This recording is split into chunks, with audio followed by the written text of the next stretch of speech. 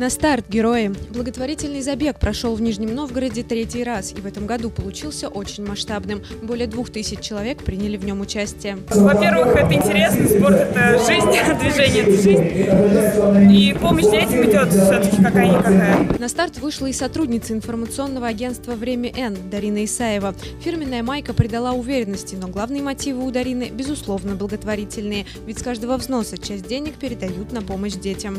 Я решила бежать, потому что это будет марафон благотворительный. Мне всегда хотелось сделать что-то особенное, как, например, пробежать 5 километров. Это не входит в мои стандартные рамки существования, так сказать.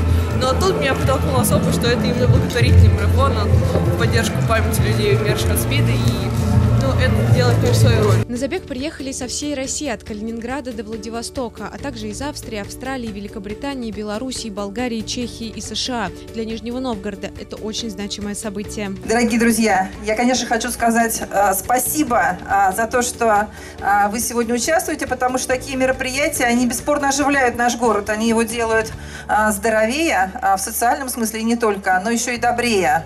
Поэтому спасибо нашим мужественным организаторам. Участники успешно завершили дистанции. 5 километров пробежали 640 человек, 10 километров 461, 21 километр 639 бегунов. Победа у каждого своя, а значит каждый герой.